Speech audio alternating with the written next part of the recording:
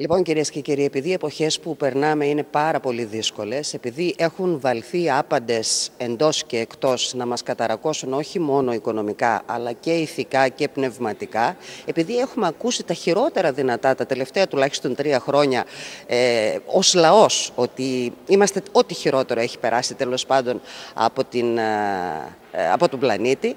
Ε, νομίζω ότι θα μας κάνει πάρα πολύ καλό να ταξιδέψουμε λίγο στο χώρο και στο χρόνο. Ε, η αφορμή είναι μια καταπληκτική έκθεση με εφευρέσεις των αρχαίων Ελλήνων, με εφευρέσεις ασύλληπτες ε, για 2.000 χρόνια πριν ε, σας μιλάμε, που δείχνει ότι δεν μπορεί απλώς κάποια λαμπρά μυαλά να πέρασαν από αυτό τον τόπο. Πρέπει να μιλάμε για κάποιους άλλους πολιτισμούς, για κάποια πράγματα που ξεχάστηκαν ή που, εν πάση περιπτώσει, τουλάχιστον εμείς δεν τα διδαχτήκαμε ποτέ, όπως και όσο θα έπρεπε. Ε, μας ταξιδεύει ο κύριος Κώστας Κοτσανάς με μια καταπληκτική έκθεση ε, τέτοιων εφευρέσεων. Όλη αυτή η δράση γίνεται ε, στο πλαίσιο του Μήλου των Ξωτικών. Είναι μια πρωτοβουλία, άλλη μια εξαιρετική πρωτοβουλία του Ιτρίκαλα. Και ελάτε πραγματικά λίγο να ανεβάσουμε το ηθικό μας. Πρώτα απ' όλα να σας καλωσορίσουμε στα Τρίκαλα και να σας ευχαριστήσουμε για την παρουσία σας κύριε Κοτσανά. Και εγώ σας ευχαριστώ. Να πούμε ότι εδώ, σε αυτόν τον υπέροχο χώρο, στο Κουρσούμ Τζαμί, φιλοξενείται μέχρι τις 4 Γενάρη η κινητή έκθεση του Μουσείου Αρχαίας Ελληνικής Τεχνολογίας. Ε, η κινητή έκθεση περιλαμβάνει μια εξαιρετική επιλογή από τα 350 εκθέματα του Μουσείου Αρχαίας Ελληνικής Τεχνολογίας που αναφέρονται σε σημαντικότατες εφευρέσεις των αρχαίων Ελλήνων. Ξεκινώντας από το ρομπότ υπηρέτρια του Φίλωνος, για παράδειγμα, και φτάνοντας μέχρι το κινητό αυτοματοθέατρο και το σταθερό αυτοματοθέατρο του Ρήνου του Αλεξανδρέως, που θα λέγαμε ότι ήταν ο κινηματογράφος, ο κινηματογράφος των αρχαίων Ελλήνων. Ε, να... Σύλληπτα πράγματα. Να ρωτήσω πριν μας ξεκινήσετε έτσι την ξενάγηση, να ρωτήσω πώς ξεκίνησε όλη αυτή η ιστορία, ε, πού βρίσκεται η έκθεση ε, μόνιμα, γιατί τώρα είναι η κινητή μας είπατε. Ναι. Ένα μέρος που ταξιδεύει, φαντάζομαι, στην ε, Ελλάδα και στον κόσμο. Αυτή η δουλειά είναι πάρα πολλών χρόνων, σχεδόν 25 χρόνια. Έρευνα, μελέτη, κατασκευή. Το μουσείο βρίσκεται στο Κατάκολο. Εκεί είναι η έδρα του μουσείου, μαζί με το Μουσείο Αρχαίων Ελληνικών Μουσικών Οργάνων και Αρχαίων Ελληνικών Παιχνιδιών. Κάποια στιγμή θα φέρουμε και τα μουσικά όργανα εδώ και τα παιχνίδια. Ε, μπορούμε τώρα λοιπόν να ξεκινήσουμε λίγο την περιήγησή μας.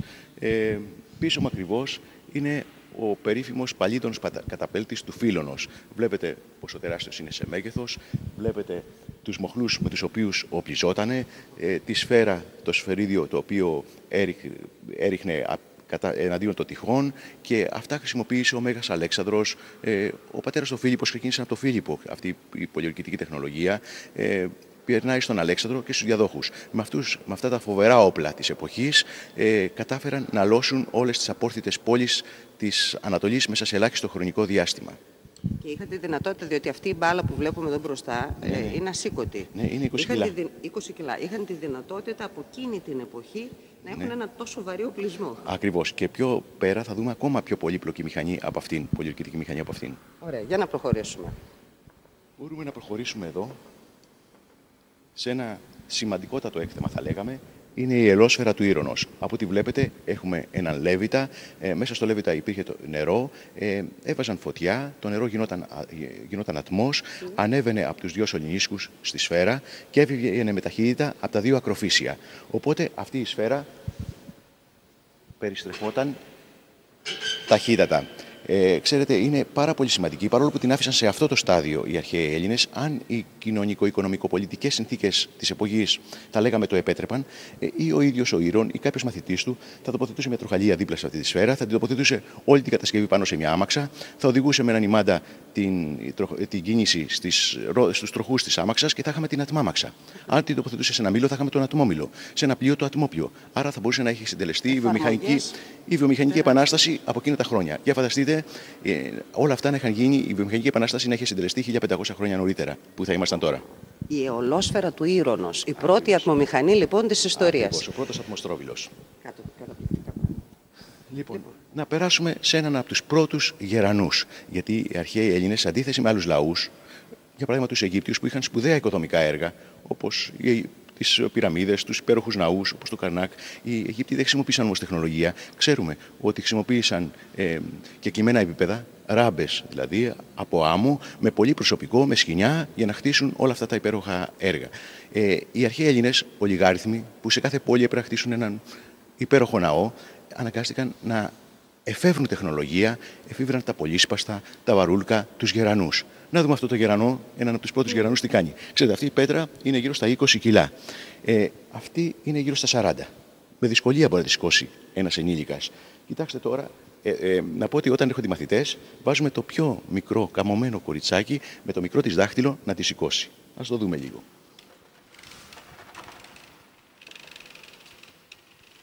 Απαπα. Βλέπετε με το μικρό μου δάχτυλο. Δοκιμάστε άμα θέλετε. Αχ, να δοκιμάσω και είμαι. Ναι, ναι, ναι. Δεν είμαι μικρή μαθήτρια. Με το μικρό δάχτυλο. Αφήστε γιατί έχω ένα θέμα. Με πήραν τα βαριά. Άπαπα, είναι ασύλληπτο. Λοιπόν, ασύλληπτο. Για φανταστείτε να βάζετε Τι όλη μυαλό. τη δύναμή σας, όλο Τι το μυαλό. βάρος σας, θα σηκώνατε τώρα δύο τόνους. Τι μυαλό. Να σας δείξω και κάτι άλλο. Κοιτάξτε, την πέτρα δεν την έδαιναν με σκοινιά, γύρω-γύρω με σκοινιά, με έναν απλό τρόπο. ο- Γιατί αν την έδαιναν με σκοινιά και την τοποθετούσαν για παράδειγμα σε ένα επιστήλιο, για φανταστείτε μια πέτρα τυλιγμένη με σκοινιά δύο τόνων πάνω στο επιστήλιο, δεν θα μπορούσαν να αφαιρέσουν ούτε τα σκοινιά κάτω από την πέτρα. Με μία κίνηση, ο λίθος αποσφάλιζε, ελευθερωνόταν. Με μία μόνο κίνηση, ο λίθος ήταν ασφαλής για ανάρτηση. Και είχαν εφεύρει πολλούς τέτοιους τρόπους, διαφορετικούς σε κάθε περιοχή. Απίστευτη πραγματικά. Αυτό είναι. Βάζω το μυαλό μου σε λειτουργία. Ο περίφημος κοχλίας του Αρχιμίδη. Ξέρετε, οι εφευρέσεις του Αρχιμίδη χρησιμοποιούνται ακόμα και σήμερα. Ο ίδιος κοχλίας χρησιμοποιείται για τη μεταφορά διαφόρων υλικών. Για παράδειγμα, στα ελαιοτριβία είναι η κοχλιομεταφορής, η σαλίγκαρη που λέμε με απλά λόγια.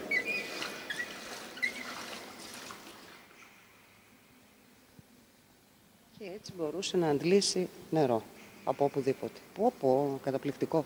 Δεν ξέρω, η κάμερα το παίρνει. Για ας έρθει λίγο από εδώ. Α, ωραία. Γιατί έχουμε και τους προβολείς λίγο κόντρα. Καταπληκτικό. Να πούμε ότι στόχος του μουσείου, όπως και της κινητής έκθεσης, είναι να αποδείξει ε, κάτι που θα λέγαμε ότι μας είναι συγκλονιστικό. Τι, ότι η τεχνολογία των αρχαίων Ελλήνων, λίγο πριν το τέλος του αρχαίου ελληνικού κόσμου, ήταν σοκαριστικά όμοια με τις απαρχές της τωρινής μας τεχνολογίας. Μπορεί αυτό να μας φαίνεται περίεργο, αλλά πολύ εύκολα θα το δούμε αν ανοίξουμε το καπό ενός αυτοκινήτου, μιας Mercedes, τι θα δούμε στη μηχανή; Θα δούμε κοχλίες και περικόχλια. Θα δούμε δοντοτούς τροχούς και κανόνες και ατέρμονες. Θα δούμε τροχαλίες και ημάντε. Αλυσοτροχούς και αλυσίδες. Έμβολα και κυλίδρους. Υδραυλικές βαλβίδες και υδραυλικούς ελεγκτές. Όλα αυτά είναι μερικά από τα εφε... μόνο από τα εφευρήματα των αρχαίων Ελλήνων, με τα οποία οι αρχαίοι Έλληνες έφτιαχναν, κατασκεύασαν πολύπλοκου μηχανισμούς, όπως το ρομπότ που αναφέραμε, όπως το αυτόματο θέατρο και πολλά άλλα όλη αυτή τη τεχνολογία, όλα αυτά τα, κλη- τα κληροδο... υπήρξαν κληροδοτήματα για το δυτικό πολιτισμό, ο οποίος τα επανέκτησε μετά από χίλια χρόνια ορίμανσης. Έπρεπε να Ξέρετε, περάσουν. Έτσι μου θυμίζεται αυτό που είχε πει ο Χίτλερ κάποια στιγμή, ότι τους ζηλεύω αυτούς τους Έλληνες, διότι τα έχουν πει και τα έχουν ε, κάνει όλα. και τα έχουν φτιάξει όλα. Έτσι.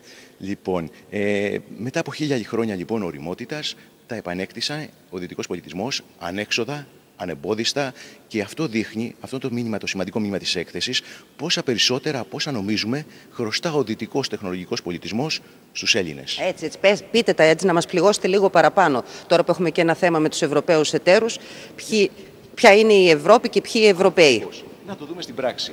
Αυτή είναι Λίγο κοντά μόνο να μην σας Λοιπόν, να τα δούμε στην πράξη. Αυτή είναι μια πυροσβεστική αντλία. Ξεκινά από τον Κτησίβιο, 3ο αιώνας π.Χ. και βελτιώνεται και περιγράφεται από τον Ήρωνα. Για κοιτάξτε την. Εδώ πε- ε, βλέπουμε αυτό το κανόνι, θα λέγαμε, που προσβάλλει τη φωτιά. Ε, περιστρέφεται στο οριζόντιο επίπεδο, στο κατακόρυφο επίπεδο. Άρα μπορούμε να στοχεύσουμε όπου βρίσκεται η φωτιά. Και δύο άνδρες εδώ, θα λέγαμε κάναν τραμπάλα. Για να το δούμε τι κάνει. Κοιτάξτε, με το μικρό μου δάχτυλο πόση πίεση μας δίνει με το μικρό μου δαχτυλάκι.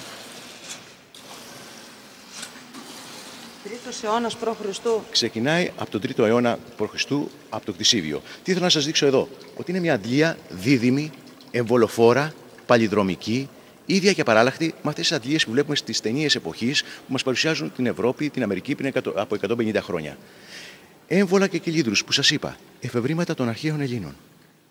Εσείς που είστε και επιστήμονας, γιατί σας ρώτησα πριν να ξεκινήσουμε την παρουσίαση, πώς και ασχοληθήκατε και πώς τέλος πάντων. Τι εξήγηση μπορείτε να δώσετε; Πώς τα είχαν σκεφτεί όλα αυτά τόσες χιλιάδες χρόνια πριν; Ήταν ένας πολύ ανεπτυγμένος πολιτισμός, ο οποίος, ε, όπως είπατε, τα είχε πει όλα, αλλά είχε δημιουργήσει και τα πάντα προκειμένου να ικανοποιήσει τις ανάγκες του. Οι οποίες ανάγκες ήταν παρόμοιες με τις δικές μας. Γι' αυτό είχε φτιάξει ένα κινηματογράφο, θα λέγαμε μια τηλεόραση με τα σημερινά δεδομένα, ε, για να ψυχαγωγείται. Γι' αυτό έχει φτιάξει ένα όμορφο ρολόι, όχι απλώς μετρά το χρόνο, αλλά να κάνει και διάφορα πράγματα, όπως θα το δούμε μετά. Γι' αυτό είχε Πάντως, δημιουργήσει ένα να, συναγερμό. Να, πω λίγο, να πω λίγο πριν συνεχίσουμε έτσι και το δικό μου τον πόνο, γιατί έχω μια ιδιαίτερη αδυναμία στα της εκπαίδευσης. Ε, πόσο διαφορετικά θα ήταν τα πράγματα αν κάποια από αυτά τα μαθαίναμε στα σχολικά μας χρόνια, στα μαθητικά μας χρόνια, αντί να παίρνουμε μια στήρα γνώση και τα περισσότερα παιδιά τα ακούτε, φαντάζομαι, ε, να λένε Τι τα θέλουμε μωρέ, τώρα, τα αρχαία ελληνικά και την ιστορία των αρχαίων και όλα αυτά. Έτσι Νομίζω ότι η εποχή μας επιβάλλει να μάθουμε για αυτά τα πράγματα, γιατί εδώ, όπως θα δείτε σε λίγο, δεν μαθαίνουμε μόνο ιστορία, μαθαίνουμε φυσική, μαθαίνουμε όλες αυτές τις μαθηματικά, όλες αυτές τις επιστήμες. Θα το δείτε στην που πορεία. και άμεση εφαρμογή πια καθαρά στη ζωή μας. Λοιπόν, ένα συναγερμός πόρτας. Για να το δούμε λίγο στην πράξη.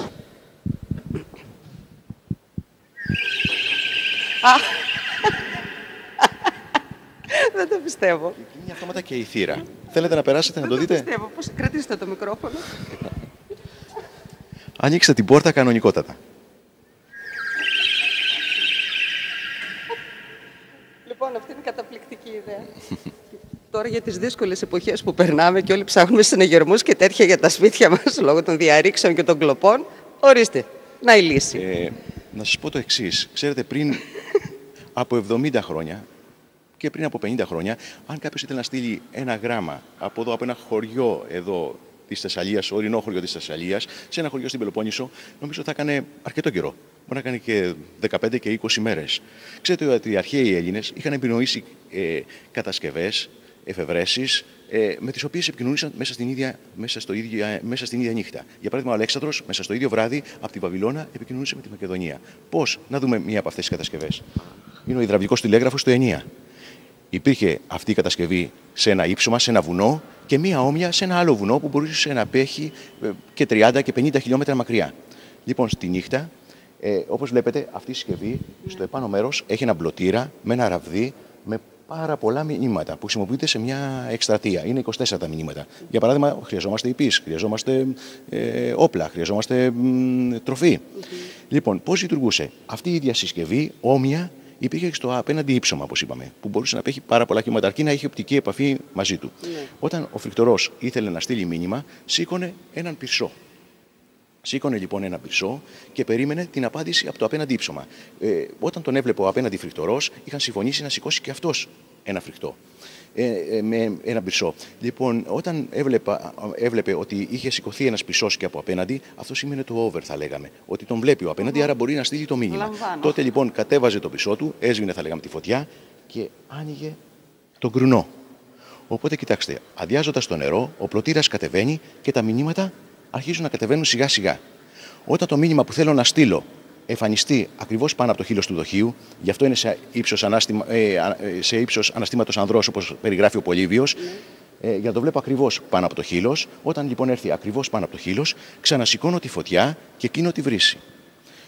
Όταν σηκώνω ξανά τη φωτιά και ο απέναντι φρικτορός κλείνει τη βρύση. Επειδή είναι όμοιες οι κατασκευές, οι συσκευές, είναι όμοιες συσκευές σε διάμετρο, σε ύψος, σε ναι. αποστάσεις μηνυμάτων, σε οπές εκροής, το ίδιο μήνυμα ακριβώς θα εμφανιστεί και, στη συσκευή του παραλήπτη του μηνύματος. Ε, λοιπόν, ας υποθέσουμε λοιπόν ότι θέλω λοιπόν να στείλω αυτό το μήνυμα, το γιν αλωτρίαν κατέσχομεν, πλησιάζει πάνω από το χείλος, να πλησίασε, σηκώνω τον πισό μου και κλείνω τον κρουνό. Ε, και ο απέναντι λοιπόν φρυδωρό έχει κλείσει τον κρουνό και διαβάζει ακριβώς το ίδιο μήνυμα. Πόσο απλό και πόσο έξυπνο. Ακριβώς. Από βουνό σε βουνό ε, έφτανε το μήνυμα από τη Βαβυλώνα στη Μακεδονία και το αντίστροφο. Ε, δεν έχω λόγια. Δεν έχω λοιπόν, λόγια. Να περάσουμε στην πρώτη, στον πρώτο καταπέλτη. Ξέρετε, ε, όπως ξέρουμε όλοι, ε, όταν θέλουμε να, σε ένα πόλεμο να πούμε το εξής, ότι σε ένα πόλεμο ένας που έχει ένα τόξο υπερισχύει ενός που έχει ένα σπαθί.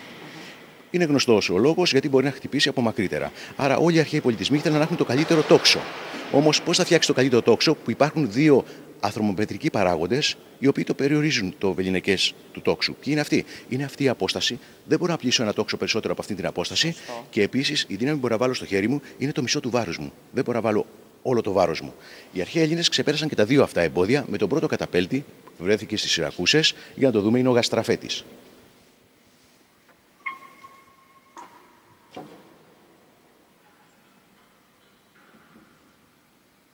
Ας αφαιρέσουμε το τέλος. Λοιπόν, όπως βλέπουμε, είναι γύρω στο 1,5 μέτρο, αλλά δεν μπορώ να το απειλήσω με τα χέρια. Το τοποθέτησαν στο έδαφος και μάλλον να πάω λίγο πιο κάτω, να έχουμε λίγο περισσότερο χώρο. Λοιπόν, στο έδαφος και στη γάστρα, εξού και το όνομα γαστραφέτης. Λοιπόν, και πίεζαν, άρα ξεπέρασα το ένα εμπόδιο που είναι 1,5 μέτρο και δεύτερον η δύναμη που μπορώ να βάλω πλέον είναι όλο το βάρος μου, όχι το μισό βάρος μου. Και αρχίζουμε λοιπόν και οπλίζουμε. Βλέπετε, οπλίζουμε σε κάθε δόντι ασφαλίζει με όλο το βάρος και όταν φτάσουμε στο μέρος που επιθυμούμε, από αυτή είναι εδώ τη θέση, από αυτή τη, εδώ τη θέση λοιπόν, απασφάλιζαν, βλέπετε έχει μια σκανδάλη, βλέπετε τη σκανδάλη, απασφάλιζαν και το βέλος εκτοσευόταν. Δεν ξέρω, είναι, είναι τρομακτικό αυτό το πράγμα. Σας παρακολουθώ και δεν μπορώ να το πιστέψω. Να δούμε ένα καταπληκτικό όμως όπλο. Σε... Σαν μοντέλο, είναι ο πολυβόλος καταπέλτης του Διονυσίου. Ξέρετε τι κάνει αυτό; Όσο περιστρέφουμε τους μοχλούς, παίρνει ένα βέλος από τη φαρέτρα αυτόματα, το κατεβάζει κάτω, το πλίζει, το ελευθερώνει, μετά παίρνει καινούριο βέλος, το πλίζει, το ελευθερώνει και ούτω καθεξής. Ένα πολυβόλο. Ο πολυβόλος καταπέλτη του Διονυσίου. Νομίζω ποια, εποχή, ποια εποχή μιλάμε τώρα; Ε, μιλάμε για τον 3ο αιώνα π.Χ. Μιλάμε για το, αποκορύφω, το, το αποκορύφωμα της καταπληκτικής τεχνολογίας. Να δούμε το υδραυλικό ρολόι του Αρχιμίδη. Για να, μάλλον να το δούμε λίγο ζωντανά. Λοιπόν, αυτό το ρολόι, βλέπετε ότι έχει δύο γαλματίδια ναι. και δύο δακτυλίους. Ναι. Αυτοί κινούνται. Ο ένας μας δείχνει τις ώρες που περνάνε και ο άλλος τις ώρες που απομένουν. Δεν ξέρω αν βλέπετε σιγά σιγά που κινείται το δαχτυλίδι. Τώρα το έχω βάλει να δουλεύει γρήγορα για το μπορούμε να το παρακολουθήσουμε. Κοιτάξτε όμως τα μάτια που αλλάζουν χρώμα κάθε ώρα. Και όχι μόνο αυτό, στην αλλαγή της ώρας, όταν το δαχτυλίδι αυτό φτάσει μεταξύ Τετάρτης και Πέμπτης ώρας, ε, θα δούμε το εξής. Ένα σφαιρίδιο θα πέσει αυτόματα, θα ανοίξει ο κόρακας το στόμα του, θα ακούσουμε το χτύπο, ε, θα πέσει κάτω, τα φίδια που βλέπουμε στο κάτω μέρος θα βγουν έξω προς τα πουλιά, θα συρρήξουν και θα ακουστεί. Δηλαδή, βλέπουμε μια, να γίνεται μια, μια παράσταση να εμφανίζεται μπροστά μας. Λοιπόν, είμαστε στην αλλαγή των ματιών, βλέπετε του χρώματος. Έρχονται τα καινούργια μάτια τώρα. Βλέπετε που κατεβαίνουν τα καινούργια μάτια.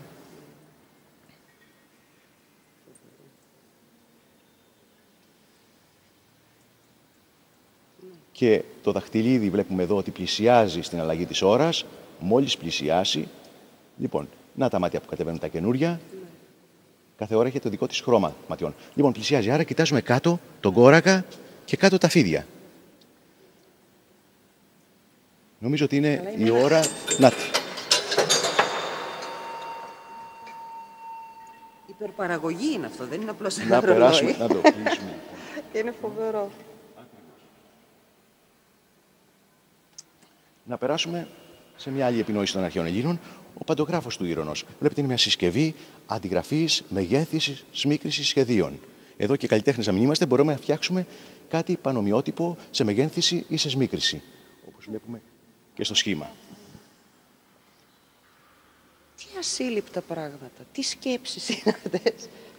Λοιπόν, αν σας, αν σας εντυπωσίασε το ρολόι του Αρχιμίδη, τι να πούμε για το ρολόι, το περίφημο ρολόι του Κτησιβίου, το οποίο είναι ένα θαύμα του αυτοματισμού. Να το βλέπουμε και λίγο ζωντανά να λειτουργεί. Γιατί θαύμα του αυτοματισμού. Γιατί μπορεί να λειτουργεί για χρόνια χωρίς ανθρώπινη παρέμβαση, αρκεί να, το νερό μιας πηγής να φτάνει εδώ ε, και χωρίς ανθρώπινη παρέμβαση να μας δείχνει τα 365 διαφορετικά ωράρια του χρόνου. Θα σας πω γιατί διαφορετικά. Πρώτα απ' όλα βλέπουμε το γαλματίδιο σιγά σιγά με το νερό που κυλά, που ανεβαίνει και μας δείχνει τις ώρες. Λοιπόν.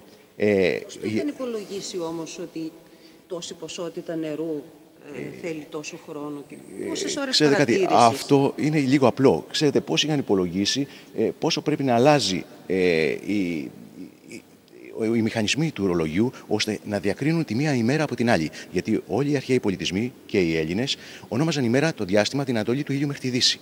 Και αυτό χωρίζαν σε 12 κομμάτια τι ώρες. Άρα, όσο πάμε προς το θερινό ηλιοστάσιο στις 21 Ιουνίου, η ημέρα και η ώρα της μεγαλώνει.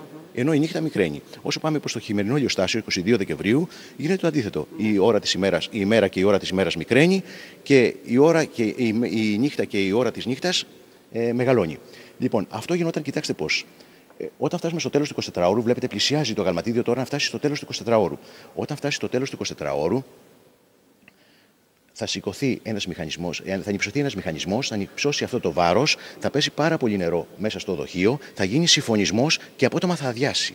Και θα συμβεί το εξής εκπληκτικό. Ενώ όταν ανεβαίνει, δεν περιστρέφεται το, αυτή η οδοντοτή τροχή, στην κάθοδο περιστρέφονται με μια σχέση 1 προς 365 για να πάμε αυτόματα στην επόμενη μέρα. Κοιτάξτε όμως τι καμπύλες, η ώρα της ημέρας αρχίζει και μικραίνει ναι, ναι. και της νύχτας μεγαλώνει. Είναι, είναι απίστευτα πράγματα αυτά. Σε λίγο πλησιάζει, αλλά θα μπορούσα να το κάνουμε τεχνητά λίγο. Ναι, ναι. Θα σας το κάνω λίγο τεχνητά για να το δούμε. Κοιτάξτε, θα πέσει το πολύ νερό.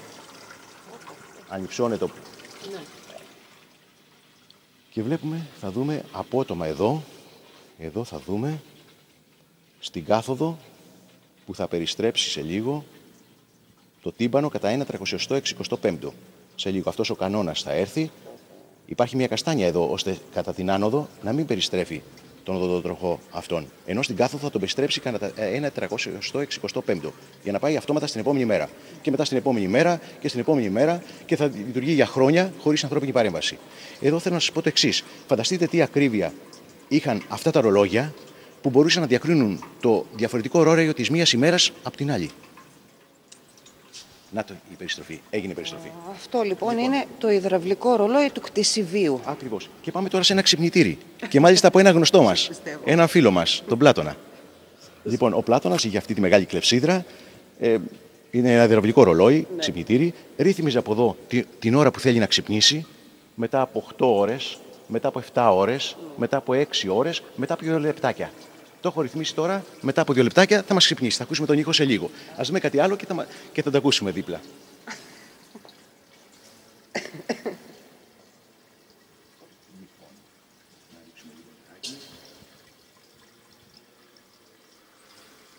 Και όμορφο το ξυπνητήρι πάντως. Αυτό θα τα λέω.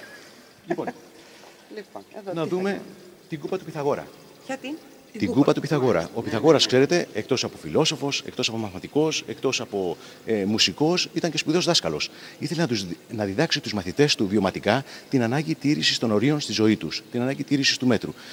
Έλεγε ότι όποιος είναι πλεονέκτης, αλαζόνας, ε, θα έρθει η τιμωρία μετά και θα χάσει όχι μόνο το περισσότερο που θέλει να αποκτήσει, αλλά ό,τι έχει αποκτήσει μέχρι τότε. Είναι αυτό που λέει ο λαός μας: Όποιος θέλει τα πολλά, χάνει και τα λίγα. Οι αρχαίοι Έλληνες έλεγαν: Είναι η ύβρι, ο αλαζόνας είναι η ύβρι, μετά θα έρθει η δικαιοσύνη, η νέμεσης και μετά θα ακολουθήσει η τιμωρία, η τύση. Ήβρις, νέμεσης, τύση. Αυτά δεν θυμόμασταν. Λοιπόν, έλεγε στους μαθητές του και εμένα μου αρέσει το ο ίνος. Θέλω να πίνω ίνο, ένα ποτήρι την ημέρα μέχρι το όριο. Βλέπετε τη γραμμή του ορίου. Αν είμαστε κάτω από το όριο,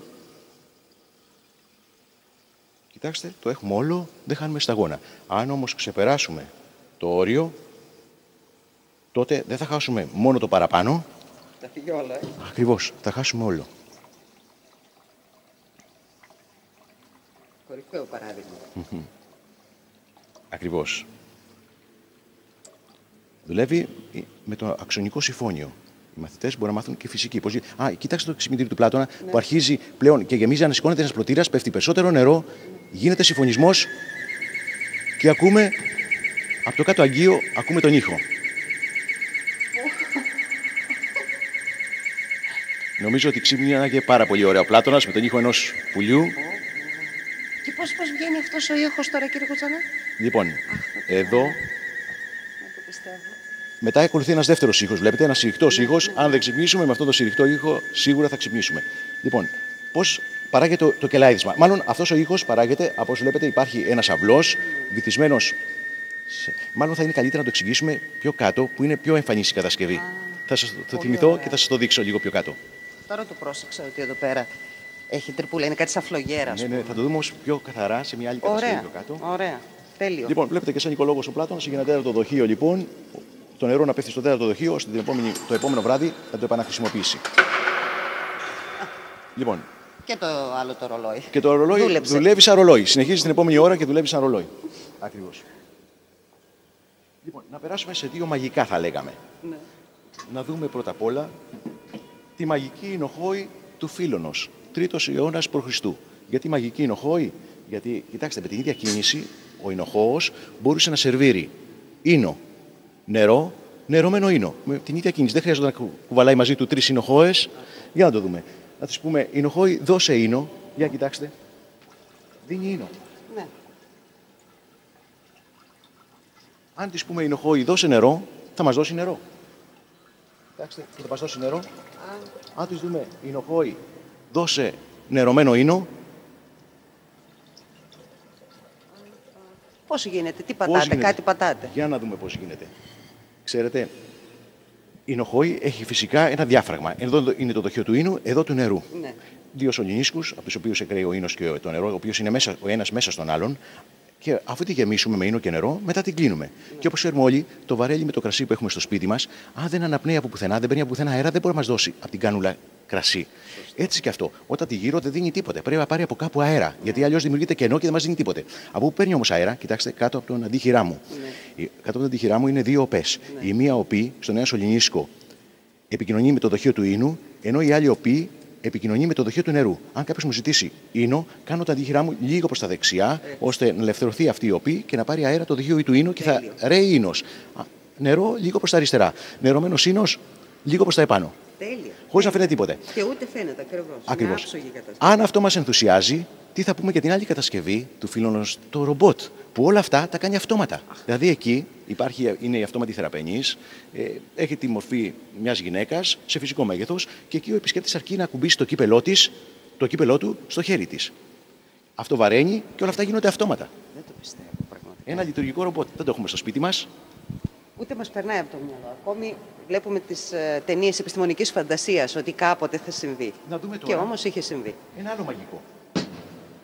Το μαγικό συντριβάνι του Ήρωνος. Όλοι ξέρουμε λίγο, θυμόμαστε τι- τα συγκινούντα δοχεία από το σχολείο. Αν έχουμε ένα δοχείο και μεγάλο να είναι και δίπλα ένα μικρό δοχείο και το ενώσουμε με ένα σωληνίσκο, τα ενώσουμε με ένα σωληνίσκο και ρίξουμε ένα υγρό στο ένα δοχείο, αυτό θα πάει μέσω του σωληνίσκου και στο άλλο δοχείο και θα ισορροπήσει στην ίδια στάθμη. Για να δούμε, αυτό είναι το μεγάλο δοχείο, αυτό το, είναι το μικρό, θα, θα θεωρήσουμε και όλα αυτά δεν είναι τίποτα άλλο. Δοχεία και σωλήνες. Δεν υπάρχει κάτι άλλο, δεν υπάρχει μια αντλία, δεν υπάρχει κάτι άλλο. Αν ρίξω λοιπόν λίγο νερό, για να δούμε τι θα γίνει.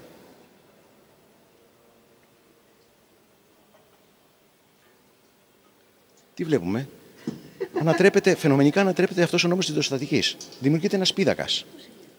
Και το πιο φοβερό, αυτό το νερό που έριξα δεν τελειώνει. Φαίνεται να μην τελειώνει ποτέ. Συνεχίζει κάνει ανακύκλωση και συνεχίζει συνεχώς. Να και φυσική λοιπόν για τα παιδιά.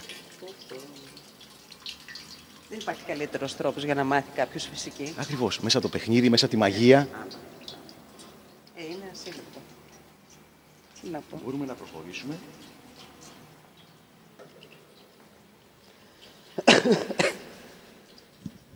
Εδώ.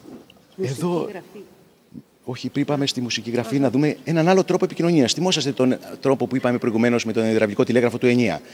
Αν θυμόσαστε, ήταν γρήγορος, πολύ γρήγορος τρόπος, αλλά είχε ένα μειονέκτημα. Δεν μπορούσαμε να στείλουμε ένα οποιοδήποτε μήνυμα, έπρεπε να είναι ένα από τα προσυμφωνημένα μηνύματα. Εδώ μπορούμε να στείλουμε οποιοδήποτε μήνυμα θέλουμε. Γράμμα-γράμμα. Πώς γινόταν αυτό, Βλέπετε εδώ αυτούς τους τοίχου, τους δύο τοίχου, ήταν σε ένα ύψωμα και σε ένα άλλο ύψωμα πίσω, 30 χιλιόμετρα μακριά, ε, ήταν δύο άλλοι τείχοι. Και μπορούσαν να, να, να αρτηθούν πυρσί στους τοίχου. Ναι. Όταν θέλουμε να στείλουμε ένα γράμμα, βλέπετε το, την αλφαβήτα, την έχουμε χωρίσει σε πέντε πινακίδες, με πέντε γράμματα στην κάθε μία. Και είχαμε κάνει την εξής σύμβαση. Κάθε γράμμα που στέλνουμε ανήκει σε μια πινακίδα και έχει μια σειρά στην πινακίδα. Για παράδειγμα, θέλουμε να στείλουμε το, το ΙΤΑ. Το ΙΤΑ βρίσκεται στη δεύτερη πινακίδα. Ναι. Γι' αυτό ανάβαμε, σηκώναμε δύο πισού στον αριστερό τοίχο. Αυτό σημαίνει ότι στέλνουμε ένα γράμμα που βρίσκεται στη δεύτερη πινακίδα. Όμως το ΙΤΑ είναι δεύτερο γράμμα στη δεύτερη πινακίδα. Αφού είναι δεύτερο γράμμα, στο δεξί τοίχο ανάβαμε δύο άλλους πισούς. Ε, δεν είναι δυνατό. Ακριβώς. Ε, δεν είναι δυνατό. Δηλαδή, για Δεύτερη παράδειγμα. πινακίδα, δεύτερο γράμμα. Ακριβώς. Πάμε. Να το δούμε άλλη μια Ε, φορά. είναι φοβερό. Να το δούμε και μια άλλη περίπτωση. Να δούμε αυτό. Αυτή τη στιγμή ποιο γράμμα θα λέγατε ότι έχουμε; Τρίτη πινακίδα. Μπράβο. Ο αριστερό τείχο μας λέει ότι είναι στην τρίτη πινακίδα. Ναι. Ποιο γράμμα όμως στην τρίτη πινακίδα, Το το, τέταρτο. πρώτο. Το Α, πρώτο. από τα Ένας εκεί πρισό. μετράω. Όχι, όχι. Τους αριθμούς των πρισών μάλιστα, κοιτάζουμε. μάλιστα. Τους αριθμούς των πρισών. Πόσες φωτιές έχουμε, μόνο μία. Άρα είναι το πρώτο. Άρα τρίτη πινακίδα, Το λάμδα. το λάμδα. Ε, κάτι άλλο. Έτσι λοιπόν, γράμμα-γράμμα μπορούσαν να στείλουν οποιοδήποτε μήνυμα. Αυτό θα πει επικοινωνία. Τέλειο. Λοιπόν, εδώ θα δούμε δύο μουσικά όργανα. Τι θα δούμε, θα δούμε το μονόχορδο του Πυθαγόρα και με το οποίο, ένα επιστημονικό όργανο με το οποίο ο Πυθαγόρας μελετούσε τις νότες, τους μουσικούς φθόγους και τα μ, διαστήματα, τα μαθηματικά διαστήματα που τις ε, διέπουν και τις παράγουν. Και εδώ την Ήδραυλη. Τι είναι η Ήδραυλης; Με απλά λόγια, το πιάνο των αρχαίων Ελλήνων. Βλέπετε, το πρώτο πληκτροφόρο όργανο παγκοσμίως. Είναι ο πρόγονος του εκκλησιαστικού οργάνου. Ε, πώς λειτουργούσε; Δύο δούλοι έσπρωχναν τους μοχλούς όπως βλέπετε. Το δελφίνι βλέπετε που κουνά την ουρά του, μας δίνει τον αέρα. Είναι η βαλβίδα εισαγωγής του αέρα, η βαλβίδα εξαγωγής. Και ξέρετε, ο ευφυής κτησίβιος, μιλάμε για τρίτο αιώνα π.Χ., οδήγησε τον αέρα όχι κατευθείαν στο πληκτρολόγιο, γιατί δεν θα, ήταν σταθερο... δεν θα είχαμε σταθερότητα στις νότες, αλλά στο πνιγαία, όπως το ονομάζουμε, ε, που είναι που τοποθετημένος μέσα στο νερό, ώστε η παραπάνω πίεση του αέρα να φύγει σαν φυσαλίδε μέσα από το νερό, ώστε με σταθερή πίεση ο υπόλοιπος αέρας να έρθει στο πληκτρολόγιο και να παραχθούν οι νότες. Εδώ δίπλα βλέπουμε στην οθόνη, ας το δούμε λίγο στην οθόνη, ακούμε το τραγούδι του Σίκυλου από αυτήν εδώ την Ήδραυλη. Αυτός ο κύριος που παίζει είναι ε, της ε, Συμφωνικής Ορχήστρας της Αμβούρου, του Αμβούργου και παίζει στο Φεστιβάλ Ολυμπίας Κινηματογράφου ε, Ολυμπίας για παιδιά και νέους, παίζει το τραγούδι του Σίκυλου. Ο Σίκυλος ήταν ένας λυρικός ποιητής, έζησε στις Τράλεις, κοντά στην Έφεσο και όταν πέθανε η γυναίκα του Ευτέρπη, ε, τοποθέτησε μια επιτίβια πλάκα ε, ε, και στην πλάκα επάνω είχε γράψει ένα επίγραμμα. Έλεγε εικόνα με περισσότερο παρά πέτρα. Με τοποθέτησε εδώ ο Σίκυλος να μείνω μια ζωντανή ανάμνηση. Ένα μνημείο για πάντα. Ένα μνημείο για πάντα ήθελε να μείνει λοιπόν ο Σίκυλος αυτή η πέτρα. Και είμαστε τυχεροί γιατί κάτω από την πέτρα είχε γράψει το τραγούδι. Αν δείτε το τραγούδι, βλέπετε μεγαλογράμματη γραφή, χωρίς κενά, αυτή την περίοδο οι Έλληνες. Πάνω από κάθε συλλαβή είναι σημειωμένη η νότα. Να το σε βλέπουμε τώρα είναι η νότα. Πάνω από την νότα είναι η αξία, ο χρόνος που διαρκεί. Ναι. Είμαστε τυχεροί λοιπόν που έχουμε νότες και αξίες από την αρχαιότητα. Είμαστε, είμαστε άτυχοι όμως που ποτέ δεν τα μάθαμε. Ε, Α, αντιδράνε τα ρολόγια στο βάθος μου φαίνεται. Ναι, τα ρολόγια συνεχίζουν να δουλεύουν σαν ρολόγια. Το έχουμε αφήσει ανοιχτό το ένα ρολόι και συνεχίζει να δουλεύει. Ναι. Ε, και είμαστε τυχεροί λοιπόν που έχουμε νότες και αξίες από εκείνη την εποχή. Και το τραγούδι διαχρονικότατο. Όσο ζεις λάμπε, καθόλου μη λυπάσαι, γιατί η ζωή είναι σύντομη και ο χρόνος στο τέλος απαιτεί. Και είχε μια ιστορία αυτή η πέτρα. Ξέρετε, χάθηκε όπως όλα τα αρχαία. Το 1883 σε ένα καφέ ξαναβρέθηκε. Το 22 με την μικρασιατική καταστροφή ξαναχάθηκε. Και ένας τουρίστας, ένας περιηγητής, τη βρίσκει στον κήπο μιας γυναίκας, η οποία την είχε σπάσει βέβαια στη βάση της. Της άρεσε η πέτρα όμως, αλλά επειδή ο κήπος ήταν κατηφορικός, έπρεπε να στέκεται σωστά. Λοιπόν, τη είχε σπάσει στο κάτω μέρο και είχε τοποθετήσει πάνω μια γλάστρα. Και ευτυχώς που βρέθηκε και τώρα είναι στο Εθνικό Μουσείο της Δανίας, στην Κοπεχάγη. Μπορούμε να την θαυμάσουμε. Ένα μνημείο για πάντα όπως ήθελε ο Σίκυλος. Φοβερό. Λοιπόν, Φοβερό. Όλοι ξέρουμε από τα χρόνια στο σχολείο, τότε που κάναμε την ευκλήδιο γεωμετρία, που γίναμε τα προβλήματα όλα με τη χρήση κανόνα και διαβήτη. Όμως προβλήματα μέχρι εξι... δευτέρου βαθμού, εξισώσεις.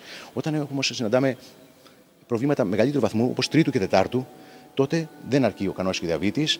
Πρέπει να έχουμε άλλα όργανα. Λοιπόν, οι αρχαίοι Έλληνες, επειδή είχαν τέτοια προβλήματα, όπως ο διπλασιασμός του κύβου, είναι το δίλιο πρόβλημα, το περίφημο δίλιο πρόβλημα, η τριχοτόμηση της γωνίας, είχαν δημιουργήσει τους περίφημους γεωμετρικούς κινηματικούς μηχανισμούς με, τα οποία- με τους οποίους επίλυαν προβλήματα τρίτου και τετάρτου βαθμού.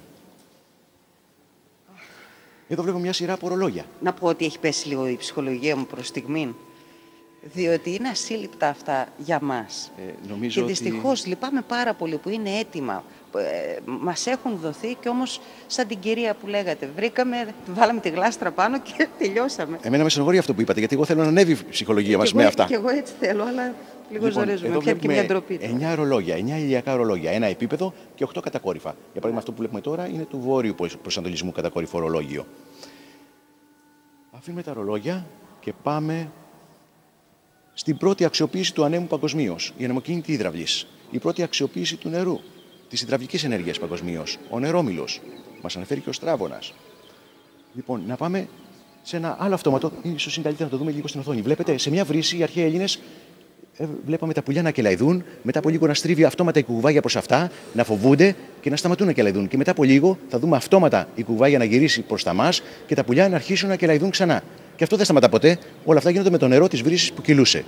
Δηλαδή, ο αρχαίος Έλληνας δεν ήθελε μια απλή βρύση, μια ναι. βρύση για να εντυπωσιάσει, ήθελε να γίνεται και να παρουσιάζεται και μια παράσταση. Με μορφές να κινούνται, με ήχους να παράγονται και να ενθουσιάζεται.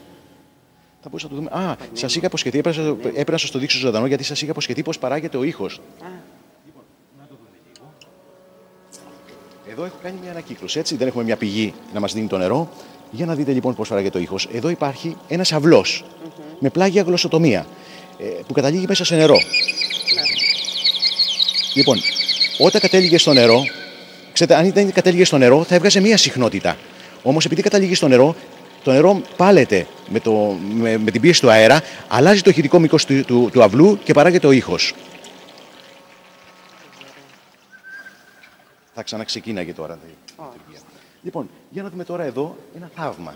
Ένα θαύμα θα λέγαμε. Εδώ ο Ήρων, αυτός ο φοβερός Ήρων, στα υπόγεια ενός ναού, είχε βάλει αυτούς τους μηχανισμούς ώστε να παρουσιαστεί ένα θαύμα. Ποιο θαύμα, όταν ο πιστός ερχόταν και προσέφερε θυσία στο Θεό, άναβε φωτιά λοιπόν εδώ, τότε τι γινόταν; Ο βωμός, από ό,τι βλέπουμε, από ό,τι θα δούμε, είναι κούφιος και στεγανός. Περιέχει αέρα. Ο αέρας διαστέλλεται από τη φωτιά και αναγκάζεται και κατεβαίνει μέσα από αυτό το σωληνίσχο σε αυτό το δοχείο που περιέχει νερό.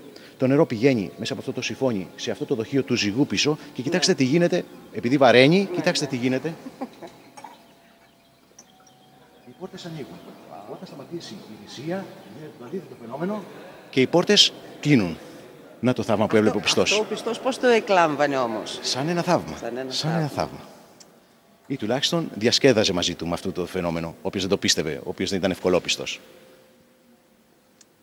Έξω από το ναό, αυτό το ναό, ήταν το αυτόματος σπονδίο. Ο πρώτος αυτόματος πολιτής παγκοσμίως. Εδώ ο πιστός περνούσε, έριχνε ένα νόμισμα και έπαιρνε λίγο αγιασμό. Να το δούμε. Λοιπόν, βλέπουμε εδώ και εδώ. Ρίχνοντας... Λοιπόν, ρίχνοντας ένα νόμισμα, συγγνώμη, Να το ξαναδούμε. Να το είναι, είναι καταπληκτικό. Να το ξαναδούμε. Δεν, δεν ξέρω, είναι ασύλληπτο. Είναι ασύλληπτο.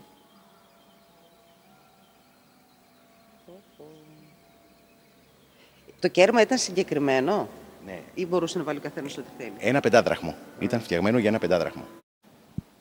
Λοιπόν, τώρα ήρθαμε από την άλλη πλευρά. Για να δούμε τι βλέπουμε. Ο αστρολάβος του Πτολεμαίου. Εδώ βλέπουμε τον περίφημο αστρολάβο του Πτολεμαίου. Θα λέγαμε ένα GPS των αρχαίων Ελλήνων. Γιατί με αυτό, μέσα από τα δύο στόχαστρα, μπορούσαν να στοχεύσουν στον ουρανό, να δουν ένα άστρο, να βρουν τις συντεταγμένε του, γεωγραφικό πλάτος και μήκος του αστέρα και μετά να το σημειώσουν επί χάρτου και να φτιάξουν ένα αστρικό χάρτη, θα λέγαμε. Για ποιο λόγο, για να το χρησιμοποιήσουν αντίστροφα όταν θα χαθούν, όταν είναι ναυτικοί, έμποροι και ταξιδεύουν, για να εντοπίσουν τη θέση τους. Μα δεν είναι τρομακτικό όμως, ε, κύριε Κοτσόνα. Άντε μπορούσαν να αντιμετωπίσουν διάφορες ανάγκες που είχαν επί ε, είχαν επινοήσει απίστευτα πράγματα. Μπορούσαν όμως να παρατηρήσουν με τόση λεπτομέρεια και να ελέγξουν ακόμη και τα ουράνια σώματα πάλι για να εξυπηρετηθούν στην πράξη. Ναι. Δεν είναι τρομακτικό. Φυσικά και ξέρετε, ο ύπαρχο, αυτός ο σπουδαίος αστρονόμος, είχε φτιάξει ένα καταπληκτικό αστρικό χάρτη με τις συνταγμένε των όλων των τότε γνωστών αστεριών. Και πάμε τώρα στο λάπτοπ. Ακριβώς. Το λίγο γνωστό, είναι αρκετά γνωστός ε, αυτή την εποχή. Είναι ο περίφημος μηχανισμός, υπολογιστικός μηχανισμός των αντικειθήρων. Όπως ξέρετε, βρέθηκε σε ένα, στο περίφημο ναυάγιο των αντικειθήρων και θα λέγαμε ότι ήταν το λάπτοπ των αρχαίων Ελλήνων. Με αυτό μπορούσαν να κάνουν πολλούς υπολογισμούς. Ε, το λέμε λάπτοπ γιατί έχει μια είσοδο. Να τη είσοδος, αυτό το κομβίο, αν το περιστρέψω, θα κινηθούν αυτά τα, αυτή η οδοντοτή τροχή. Είναι ο επεξεργαστής του, θα λέγαμε. Κάνει τις πράξεις και σαν αποτελέσματα μας δίνει ε, στις ε, κλίμακες και ε, εμπρός και πίσω διάφορα ε, ημερολογιακά και αστρονομικά στοιχεία.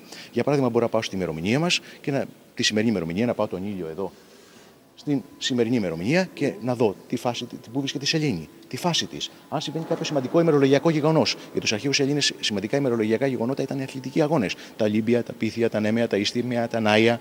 Ή κάποιο σημαντικό αστρονομικό γεγονός. Μια έκλειψη ηλίου, Σελήνης.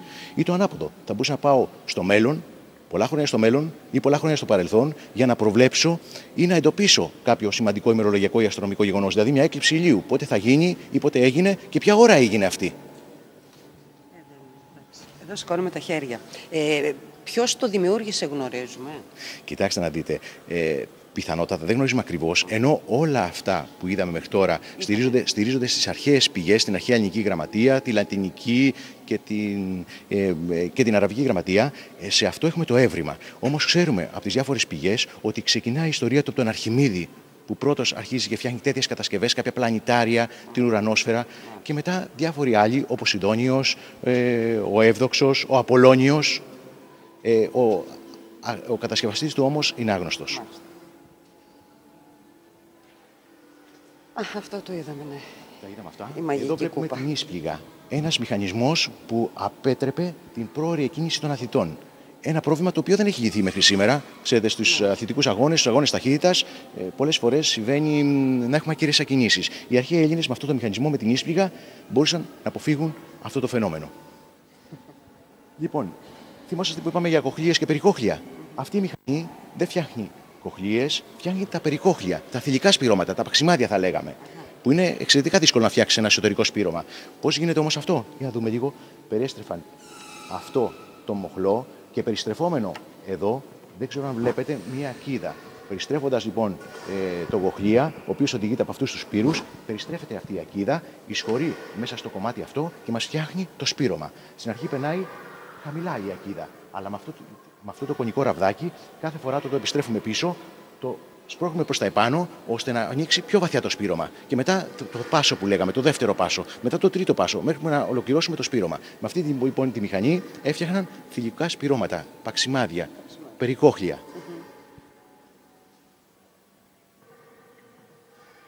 Ο αυτόματος κρατήρας, όμως δεν το βλέπουμε λίγο ζωντανά, αυτός είναι ο πρώτος, θα λέγαμε, αυτόματος ελεκτής στάθμης της ιστορίας. Εδώ περνούσε ένας περαστικός, αφαιρούσε μια ποσότητα νερού ή ίνου και αυτό το δοχείο αυτόματα συμπλήρωνε τόση ακριβώς ποσότητα. Ούτε σταγόνα περισσότερη ή λιγότερη.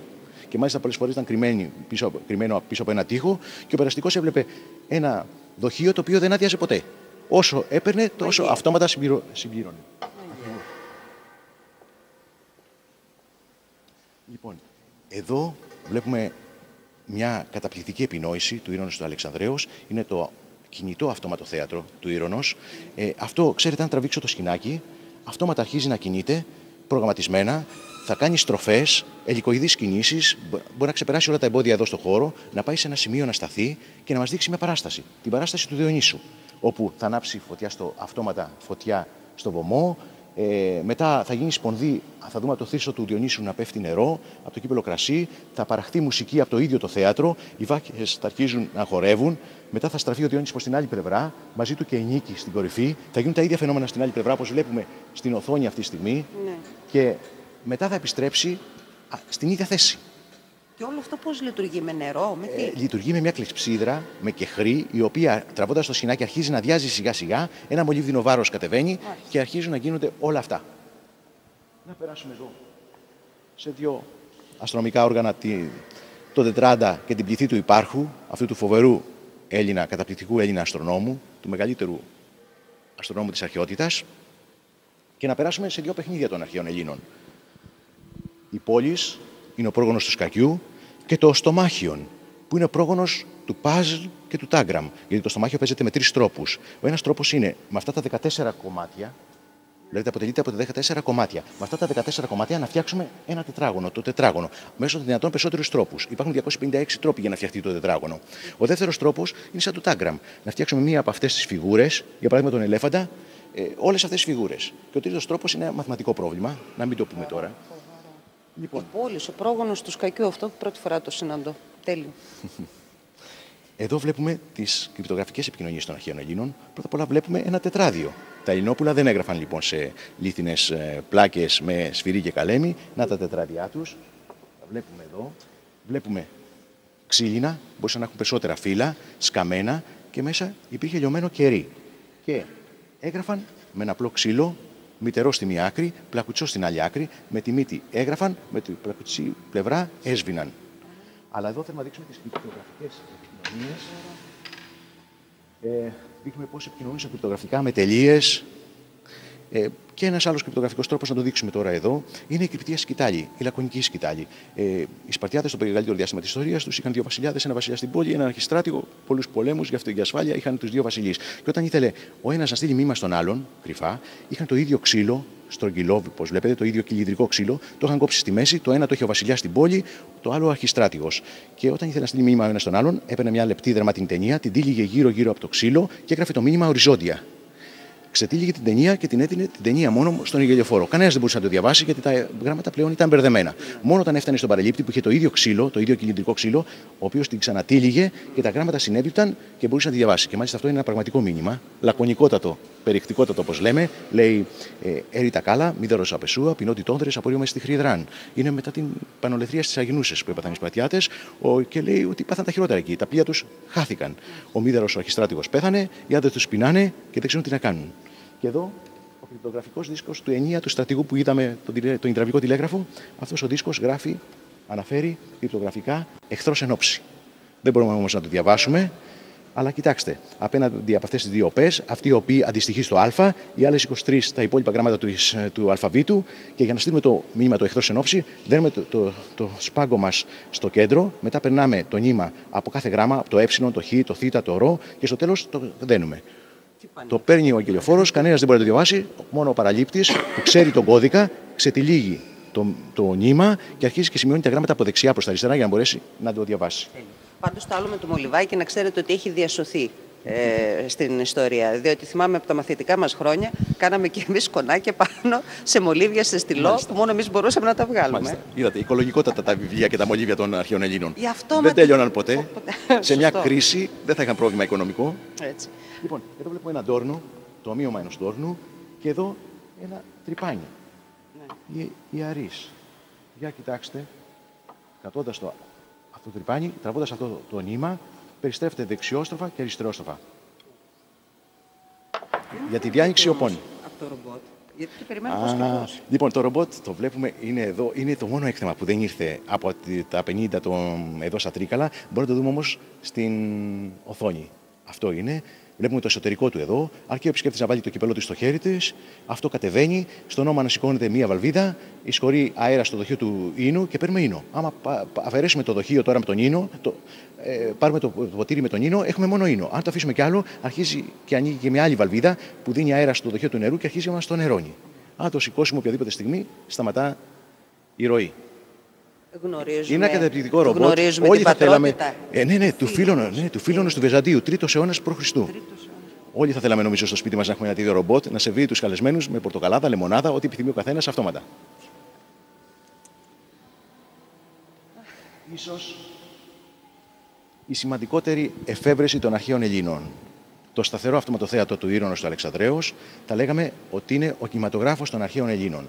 Γιατί παίζει μια παράσταση αυτόματα, τραβώντας μόνο αυτό το σκηνάκι, αυτόματα λοιπόν, με κινούμενη εικόνα, ήχο και φωτορεαλισμό. Νομίζω μπορούμε να επανέλθουμε σε λίγο που θα ξεκινήσει στην οθόνη για να το δείξουμε λίγο. Στο τέλος.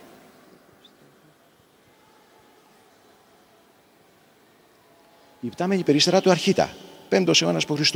Οι αρχαίοι Έλληνες ήθελαν να φτιάξουν μια μηχανή που να πετά, αυτόνομη.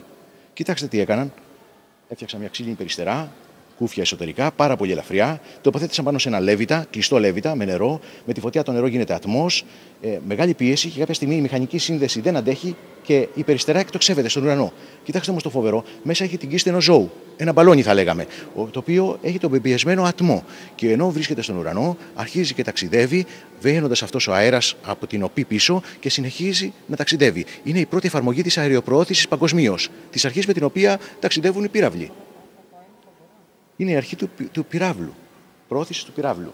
Το μέγεθος περίπου πόσο ήτανε; Ήταν περίπου αυτό. Α, ήταν περίπου, περίπου αυτό.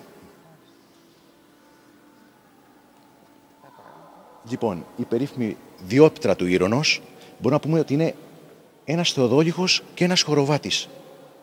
Με αυτό το όργανο οι αρχαίοι Έλληνες έκαναν πολύ ακριβέστατες μετρήσεις. Να σας πω ότι είναι δυνατόν με αυτό το όργανο, ε, πρώτα απ' όλα κάνει πάρα πολλές λειτουργίες. Αλλά να σας πω ένα παράδειγμα. Με πολλαπλή χρήση του οργάνου μπορούμε να σημαδέψουμε σε ένα νησί ένα δέντρο, τη βάση του και την κορυφή του και χωρίς να πάμε στο νησί να υπολογίσουμε μακρύβια το ύψος του. Λοιπόν, για να δούμε τον κινηματογράφο λίγο όμως, επειδή ξεκινάει ο κινηματογράφος. Κοιτάξτε τι Αρχίζει η προβολή δηλαδή. Ναι, ναι, αρχίζει η παράσταση, να δώσουμε και λίγο ήχο. Κοιτάξτε, είναι αχαίοι που επισκευάζουν τα πλοία τους μετά τον Τροϊκό πόλεμο. Βλέπετε το σφυρί που κινείται; Ναι. Βλέπετε το πριόνι; Τον ήχο από το σφυρί; Είναι ο μηχανισμός. Ναι, είναι ο μηχανισμός. Ε, έχει 32 μικρομηχανισμούς για να παραχθεί η παράσταση. Είναι ο μηχανισμός για τον ήχο του σφυριού. Μετά από λίγο κλείνουν οι θύρες για ένα δευτερόλεπτο μόνο. Και τότε κοιτάξτε τι γίνεται πίσω. Μια περώνη τραβιέται, ένα άλλο σκηνικό πέφτει και μόλις ανοίξουν οι θύρες, βλέπουμε την επόμενη σκηνή. Οι Αχαιοί, μετά τον Τροϊκό πόλεμο, λοιπόν, να έχουν επισκευάσει τα πλοία τους και να τα σπρώχνουν στη θάλασσα. Μετά από λίγο θα δούμε ότι θα κλείσουν οι θύρες. Για ένα μόνο δευτερόλεπτο κλείνουν. Λοιπόν, και βλέπετε τώρα εδώ να γίνεται κάτι, να ξετυλίγεται ένα σκηνικό, να τυλίγεται σε ένα άλλο κύγιδρο, για να δούμε το εξής. Βλέπουμε θάλασσα και ουρανό. Και μετά από λίγο θα δούμε να εμφανιστούν, να εμφανίζονται τα πλοία των Αχαιών, Α, βλέπουμε να ξεπηδούν και δελφίνια από τη θάλασσα και να τα πλοία των Αχαιών σε διάταξη, σε διάταξη στόλου, ε, με τα κουπιά τους βέβαια είναι ακόμα κοντά στην ακτή, με τα κουπιά τους, ε, να θέλουν να επιστρέψουν στην Ελλάδα. Ξέρετε, τα αυτόματα θέατρα ξεκινάνε από το 5ο αιώνα π.Χ. Γιγαντώνονται τον 3ο αιώνα π.Χ. με τον Φίλωνα. Ο Φίλων είναι ο, ο δημιουργός αυτού του θεάτρου, αλλά μας το περιγράφει και μας το βελτιώνει ο Ήρων ο Αλεξανδρεύς. Λοιπόν, ε, οι εικόνες μέσα πώς είναι, είναι. Ε... Είναι σκηνικά, ζωγραφισμένα σκηνικά. Αυτό που βλέπετε είναι τυλιγμένο σε ένα κυλίδρο και, και ξετυλίγεται και πηγαίνει σε έναν άλλο κυλίδρο. Τα προηγούμενα είναι κρέμονται από επάνω και πέφτουν από επάνω. Ε, εδώ βλέπουμε τη θάλασσα να φουρτουνιάζει και, τους, και σε λίγο θα δούμε να εμφανίζονται τα πλοία των Αχαιών που πλέουν τώρα με τα πανιά τους. Να πούμε το μύθο όμως που περιγράφει είναι ο μύθος ε, του ναυπλίου. Οι Αχαιοί ε, στην Τρία σκότωσαν τον Παλαμίδη και γι' αυτό ο πατέρας του Ναύπλιο θέλει να τους εκδικηθεί. Γι' αυτό στην επόμενη σκηνή θα το δούμε με τη βοήθεια με πρωτοπή της Αθηνάς να πηγαίνει σε ένα ακροτήρι, ε, να πηγαίνει σε ένα ακροτήρι, να σηκώνει ένα μπυρσό προκειμένου να τους ξεγελάσει, να τους δείξει ότι είναι φάρος, ότι είναι λιμάνι, να ξεγελιστούν οι Αχαιοί και να τσακιστούν εκεί στα βράχια και να πνιγούν. Και να, να που βλέπουμε εδώ να το Σονάφλιο με πρωτοπή της Αθηνάς, να ο Πυρσός, να τα βράχια κάτω που θέλει να ξεγελάσει τους Αγίου. Και κοιτάξτε εδώ το φοβερό, ανάβει αυτόματα φωτιά, θα σα πω μετά πώς άναψε φωτιά, προκειμένου να κάνει φωτορεαλιστική τη σκηνή. Κοιτάξτε που τρεμοπαίζει το φως να βγαίνει από τον Πυρσό και στην επόμενη σκηνή θα δούμε ότι όντως ξεγελάστηκαν οι Αχαίοι, πήγαν εκεί που νόμιζαν ότι ήταν λιμάνι, να η κινητήρια δύναμη. Μια κλεψίδρα με άμμο και ένα βολίδινο βάρος που κατεβαίνει με... και παρασύρει μαζί του τα σκηνιά που δίνουν τις κινήσεις τα σοφά χρονισμένα σκηνιά. Κοιτάξτε, οι Αχαιοί έχουν τσακιστεί, τα καράβια έχουν τσακιστεί, να τα συντρίμια πάνω στη θάλασσα των καραβιών. Ε, οι Αχαιοί έχουν πνιγεί, αλλά ο Έαντας εκεί στη μέση, ο κύριος υπεύθυνος για το θάνατο του Παλαμίδη, να έχει επιζήσει, να κολυμπάει. Και εμφανίζεται από μηχανή Θεός όπως όλους τους μύθους, να η Αθηνά. Όταν φτάσει στο τέλος, θα δείτε τρία πράγματα ταυτόχρονα. Θα δείτε αστραπή, θα ακούσετε βροντί και θα χαθεί ο Έαντας στραπεί, βροντί και χάθηκε ο Έντας. Και τελειώνει ο μύθος, γυρνάει η Αθηνά, κρύβεται και τελειώνει ο μύθος. Διαγωνίζονταν οι αρχαίοι Έλληνες, οι θαυματοποιοί, θαυματοποιοί λέγονταν οι κατασκευαστές των θεάτρων αυτών, για το θαυμαστό της λειτουργίας τους. Και, και έκαναν διαγωνισμούς. Δεν ποιος... έπαιρνε ανθρώπινο χέρι και σε όλη αυτή τη διαδικασία φυσικά, στιγμή, όλα αυτόματα, φυσικά, όλα αυτόματα. Ο μεγαλύτερος αυτοματισμός, ο σπουδαιότερος αυτοματισμός της αρχαιότητας όλων των πολιτισμών. Για να δούμε εδώ. Ένα κανόνι. Ένα κανόνι. Ακριβώς το κανόνι του Αρχιμίδη. Πώς λειτουργούσε; Ανοίγαμε αυτή την βάνα, ρίχναμε λίγο νερό και μετά την κλείναμε. Αυτό το δοχείο λοιπόν είχε νερό. Και αφού βάζαμε φωτιά και ζεστώνονταν το κανόνι καλά, τότε ανοίγαμε αυτή τη βαλβίδα. Το νερό έπεφτε ακαρία στο, έπεφτε στο, στο εσωτερικό του κανονιού. Ακαρία γινόταν ατμός με πάρα πολύ μεγάλη πίεση. Και με τη μεγάλη πίεση ένα σφαιρίδιο, εδώ ξέρετε είναι κλειστό και έχει μια οπή που είναι το σφαιρίδιο. Πίεζε το σφαιρίδιο, το οποίο σφαιρίδιο πίεζε αυτή τη ράβδο, έσπαγε από την πίεση αυτή η ράβδος και ε, το σφαιρίδιο εκτοξευόταν. Αν θέλαμε μεγαλύτερο βεληνικέ, έβαζαμε, ε, τοποθετούσαν ισχυρότερη ράβδο εδώ.